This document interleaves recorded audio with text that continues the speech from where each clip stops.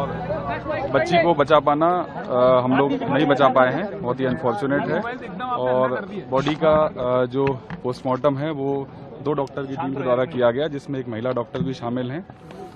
Postmortem के अनुसार body काफ़ी डिकम्पोज स्टेट में है और बहुत ही अनफॉर्चुनेट है कि हम बच्ची को नहीं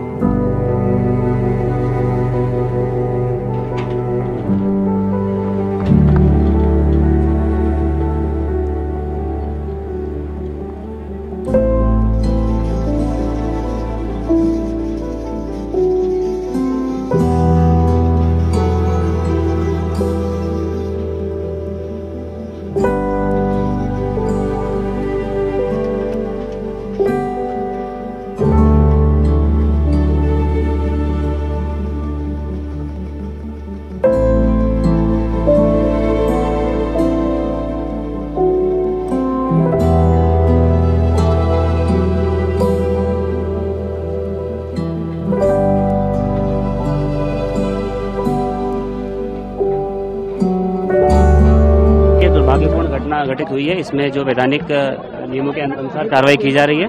एफआईआर पंजीबद्ध हो गई है जिस खेत मालिक और साथ में जो बोर करता है दोनों के विरुद्ध एफआईआर पंजीबद्ध की गई है।